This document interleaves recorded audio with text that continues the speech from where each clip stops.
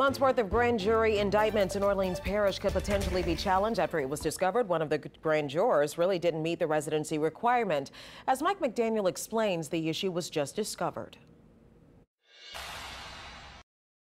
According to district court administrators, a juror who began serving in July had only been living in Orleans Parish for six months instead of a year as required by law.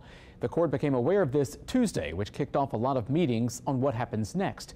Criminal indictments between July and October 12th could be impacted. In a statement Wednesday afternoon, however, the court believes those indictments will stand and hold true. The Orleans Parish District Attorney's Office can bring these cases back before another grand jury if needed, but a spokesman says the office doesn't intend to do that.